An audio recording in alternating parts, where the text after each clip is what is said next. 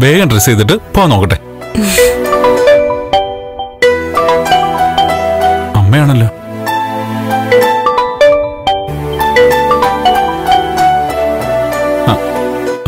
അമ്മേ. ഫോൺ താങ്കളുടെ ഭാര്യയ്ക്കൊന്ന് കൊടുക്കാൻ കരുണയുണ്ടാവണം. അമ്മ എന്താ ഇങ്ങനെയൊക്കെ സംസാരിക്കുന്നേ? വലിയ ആളുകളോട് ബഹുമാനത്തോടെ വേണമല്ലോ സംസാരിക്കാൻ. എനിക്കൊരു കൂട്ടായിട്ട് നീ ഇവിടെ നിൽക്കണമെന്ന് ഞാൻ അപേക്ഷിച്ചതല്ലേ?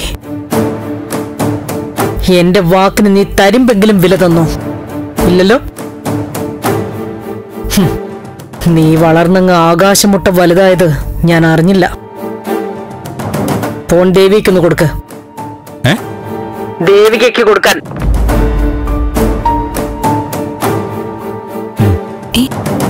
എന്താ. ഡ്രസ് വരാം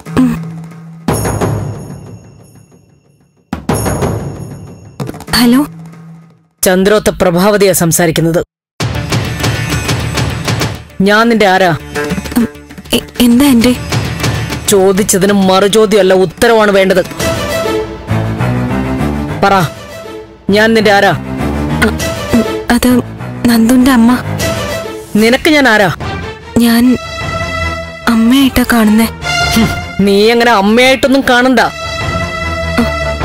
ഭർത്താവിന്റെ അമ്മ. അതായത് അമ്മായിയമ്മ. ആ സ്ഥാനം മതി. ഈ അമ്മായിയമ്മ ആശുപത്രിയിലായിട്ട് മണിക്കൂറുകൾ എത്ര കഴിഞ്ഞെന്നറിയോ? നീ ഒന്നിങ്ങോട്ട് വരികയോ എന്നെ ഒന്ന് വിളിച്ച് അന്വേഷിക്കുകയോ ചെയ്തോ? ഞാൻ ജീവനോടെ ഉണ്ടോന്ന് തിരക്കോ നീ? അയ്യോ ആന്റി. ഇന്നലെ രാത്രി ആശുപത്രിയിൽ നിന്ന് നന്ദു വിളിച്ച് കാര്യങ്ങൾ പറഞ്ഞിരുന്നു. പിന്നിപ്പോ നേരിട്ട് വന്ന് പറഞ്ഞു.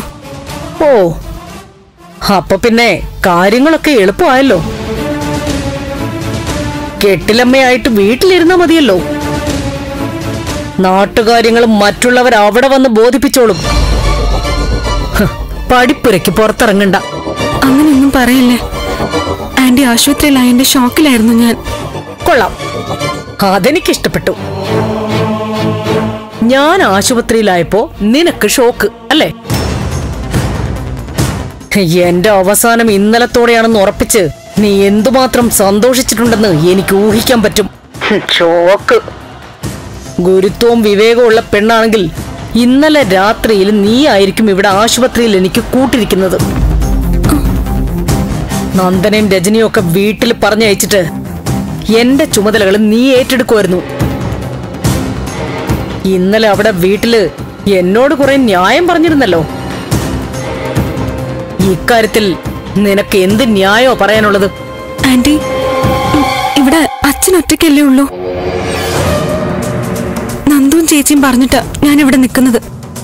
ആരെങ്കിലും ഒന്ന് പറഞ്ഞു കിട്ടാൻ നീ കാത്തു നിൽക്കുകയായിരുന്നു അല്ലേ? ആന്റി ഞാൻ ഇപ്പൊ തന്നെ അങ്ങോട്ട് വരാം. ആ അങ്ങനെ ഒരു ഔദാര്യമെങ്കിലും എന്നോട് കാണിക്കാൻ ദയവുണ്ടാവണം നിന്റെ ഭർത്താവെന്ന് പറയുന്നവൻ തടയും. പക്ഷേ നീ ഇപ്പൊ വരണം. പറഞ്ഞത് മനസ്സിലായോ? ഇപ്പൊ തന്നെ വരാം. വേറെ ആരെയും കൂടെ കൊണ്ടുവരണ്ട. എന്റെ മകന്റെ അച്ഛൻ അവിടെ കിടക്കുന്നു ഞാൻ ഇവിടെയും. നീ കാലെടുത്ത് വെക്കുന്നിടത്ത് ദുരന്തങ്ങൾ തന്നെയാണല്ലോ. പെട്ടെന്ന് ഇങ്ങോട്ട് വാടി.